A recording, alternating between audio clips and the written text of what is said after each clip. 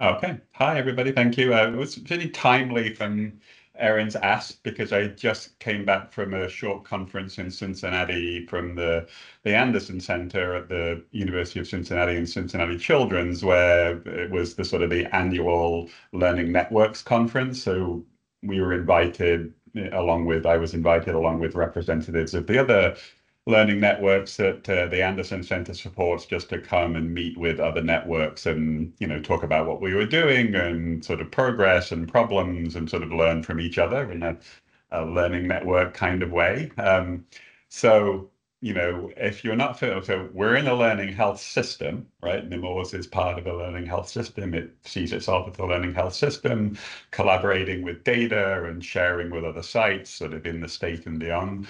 A learning health network is, um, you know, a learning health system, but prioritizing the collaboration between professionals and patients or families in partnership to negotiate the research trajectory, to talk about quality improvement priorities, and to sort of drive improvement, care improvement forward together. Now, the reason I'm doing it, and I'm always happy to share these photographs. So my kid is uh, on the in the picture, featured in the picture. Um, my kid Lou is 20 um, some years sort of post Fontan.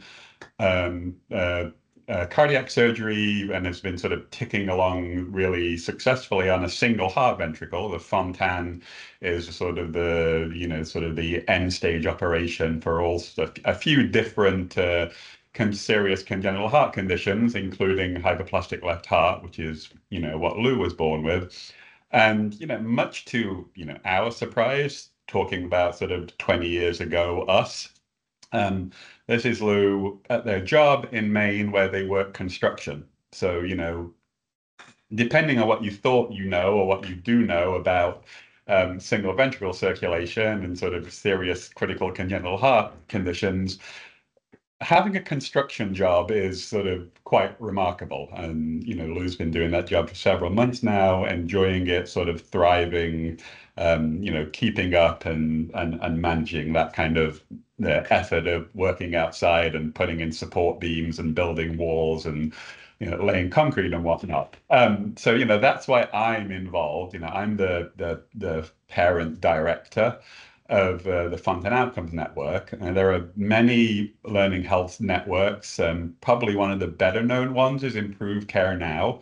Um, that's been around since the late 2000s and you know their goal and most learning health networks have a sort of a fairly specific sort of strategic goal and theirs has always been to increase the number of kids in remission from crohn's and ulcerative colitis. You know again they have clinical partners they work on you know drug and dosing regimens they work on nutrition sort of schedules they work on a bunch of things that are jointly developed in negotiation between the parent, family, patient stakeholders, and clinicians who are interested in doing that work. So typically, you know, most learning health networks are multi-site. Um, and for instance, in the case of hypoplastic heart syndrome, uh, left, uh, sorry, hypoplastic left heart syndrome, mm, there are like in America, there are about a thousand Fontan operations a year. So again, it's like the definitive kind of final, pretty much final surgical reconstruction of some of these critical congenital heart defects. There are about a thousand a year across the country. There are 20 some thousand people with a Fontan circulation, um, you know, in the United States, and probably by 2030, there may be like between 30 and 40,000, and probably no more than 50,000, 60 around the world. So, as you can imagine, for any site to really get expertise, um, you know, the, the data set is sort of there's paucity of data in any single site. Um, and so, you know, you get these multi-site networks, you know, aggregate data on these comparatively rare conditions, so you get to these bigger study samples that you can do work on, that you can compare outcomes, that you can look at practice variation, because, you know, in heart surgery and in many other kinds of surgeries, one surgeon prefers to do it this way, another surgeon prefers to do it that way. They're happy with their outcomes. They don't necessarily know what the outcomes are of people who do things a different way.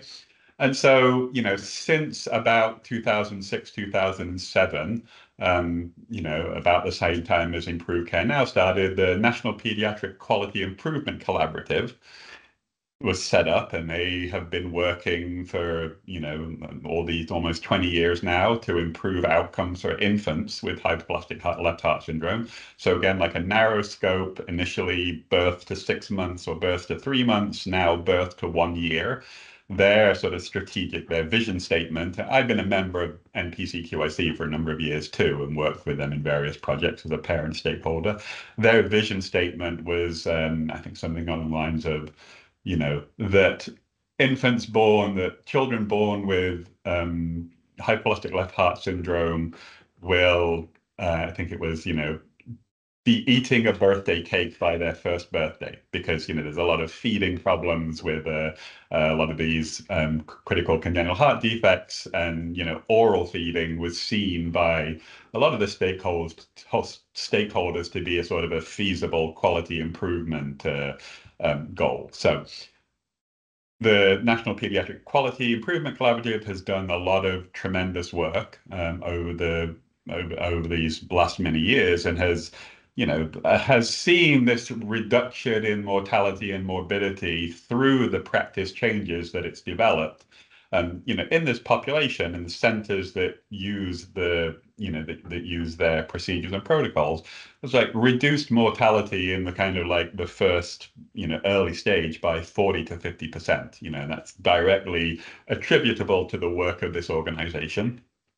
So tremendous successes in kind of a you know a very very critical population. Um, you know, it's it's a, a condition HLHS is a condition that sort of you know many clinicians, if they're like a little bit older, when they came through medical training, residency, and fellowship in pediatric cardiology, it was considered to be sort of an untreatable, fatal disease with sort of no you know, sort of very little that could be done. Um, and now HLHS is still very serious, still kind of, you know, high morbidity, high mortality. But um, the expectation, the realistic expectation now is that most kids born with this condition will do quite well. Um, again, a lot of that is to do with the efforts of um, a, a number, there are any number of learning health networks and collaborations in uh, in pediatric cardiology, but NPC QIC has sort of driven a lot of these improvements.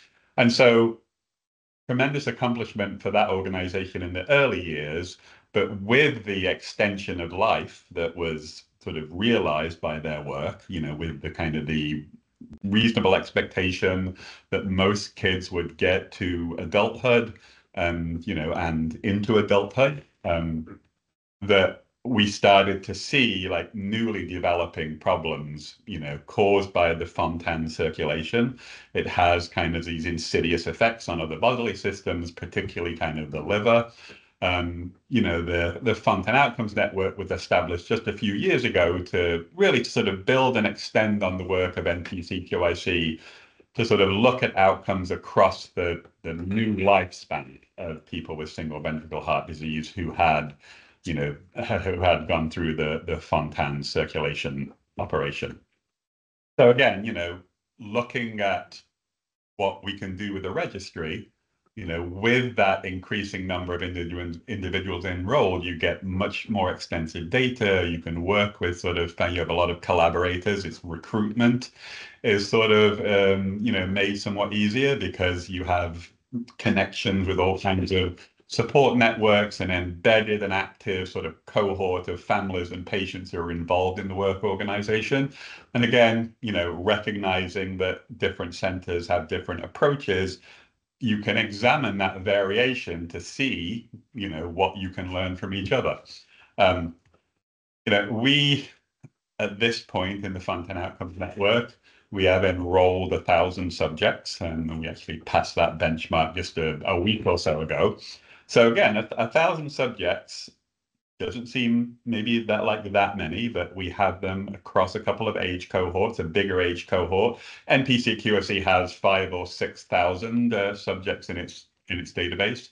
Um, we have a thousand. If you think about the fact there are, you know, 20, 25,000 Fontan patients in America, that's, you know, not a bad number. You know, a thousand of 25,000, you know, you, you can do the math, you're the scientists.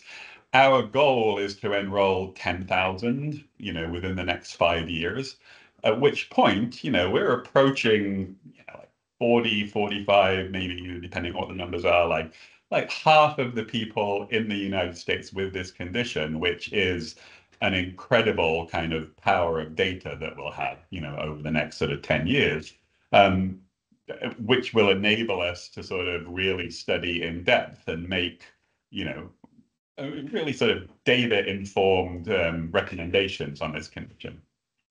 This is this is this is the kind of data that we're you know that we're getting into our registry. Uh, I show this to sort of research nurses and sort of the people who are doing this work, and they're sort of, you know, they start to weep and sweat because, you know, unrecognized to some extent point about some of these, um, you know, many research collaboratives that Nemours is involved with. We're an NPC QIC member.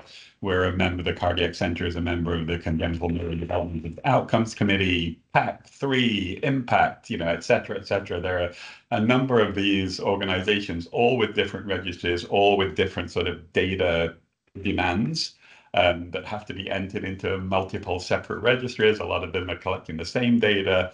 You know, we're recognizing that there's a tremendous amount of room for collaboration and, you know, finding ways to reduce the data entry burden. But, you know, we are looking to enter this data on all kinds of sort of you know, psychological, mental health, social, as well as clinical variables. And, you know, aggregate such an amount of data that we can decide what we want to work on. You know, our initial sort of interests, um, you know, are defined here for the Fontan Outcomes Network. Um, you know, uh, and some of this is NPC QIC because we are merging with that registry at some point with that network at some point in the next year. And so we are looking for ways to sort of bridge their data into, into our system and continue sort of the good work that that organization was doing. You know, our aim is you know, here, sort of optimize survival and quality of life across the lifespan for people with single ventricle individuals and their families. Um, you know, key drivers are a quality improvement, you know, term. Um, those are kind of the the areas that we're going to use to sort of examine practice variability and do research. But you know, we sat a couple of years ago with people from our group and with families who were in attendance at a, a planning meeting conference uh, you know, try to sort of map out some of the things that we could, you know, with the data that we were going to use, some of the questions that we could answer. You know, these are all sort of feasible topics of interest that, you know, when we get that sort of quality and, and quantity of data, we can start to to look at. And those were questions that were all sort of developed out of this collaboration and partnership and negotiating the, the research strategy, you know, with the, the different stakeholders. Um, you know, for instance, right? You know, at the time of Fontan operation, you know, it's a third stage in a three-stage operation. You know, how do variables in that early hospital experience relate to later outcomes. You know, liver conditions, exercise capacity is a big one that we're interested in because there's sort of emerging consensus that, you know, if you only have one ventricle in your heart, then particularly your kind of like lower muscles, your quads, um, you know, and sort of glutes, they can they can add sort of circulatory capacity you know they can somehow function as kind of a, a pump in you know to improve the the cardiac output in the heart. So, you know, what are we seeing? What we'll be able to see when we collect data from across sort of 20, 30 years that's related to kind of practice variation, you know, pharmaceuticals, you know, all kind of, and there's just an amount of like interest in collecting the genetic data um, we were working with an organization called Additional Ventures, who are looking to build kind of a, a genomic database for hypoplastic left heart syndrome. And they've got Facebook money, so you know they're probably all right. and you know, again, out of the work of NPCQIC and sort of the collaboration with parents and families and listening to their concerns and the concerns of adult patients and you know adolescent patients, you know, this particular interest in liver health. So one of the first things that FON is doing, uh, we're currently doing this now, is setting up a liver health work group so we can, you know, like examine the data we have, see what questions might be answerable out of the data, see what data we need to collect and, you know, like transform the, the registry to get those, to get that data and, you know, trying to establish what variables we need to define liver health you know across the across the lifespan and what type of surgery variants you know what kind of anatomical you know differences um you know what can contribute and what can be worked on to sort of make sure that people's livers stay healthy. And you know this is sort of the work of the the, the main work of the network right now is to establish this liver health program and establish kind of a exercise, you know, exercise guidance for people with single ventricle heart conditions. So that's my that's my slideshow for um, the Fontan Outcomes Network. I'm happy to answer any questions. Um, you know, we are currently trying to recruit the most cardiac center into this work. My conflict of interest statement should have come at the beginning, um, but I'm I'm doing it now. So uh, happy to answer any questions. Uh, if you have any questions you want to email me, I'm easy to find. So thanks. Thanks for giving me the opportunity, Aaron.